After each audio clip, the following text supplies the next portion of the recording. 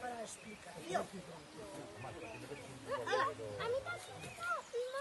considerado como un camiño medieval, ainda que nos camiños medievales de Galicia, que era un libro que escribiu Elisa Ferreiro Priele, non aparece, aparece un camiño que iría por, por eh, para Montaos, entre ambos ríos, por Termira a Yarís, e logo aparece outro camiño que iría por eh, Berredo, Bardavedra, San Martín de Pazó eh, a Llarín.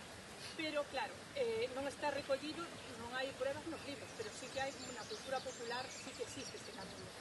E ten o, teu, o seu sentido, porque, evidentemente, desde Vilanova a Llarín, este camiño é moito máis reto que poder calquera dos dous, dos outros dous. Primeiro, un deles vai pola montaña, é que no inverno non sería moi fácil de transitar, e outro vai pola beira do río, pasa outro tanto do medio. Traballando co seu pai, e depois na, na, na, na, na, na, despois estuvo nunha fábrica Celanova.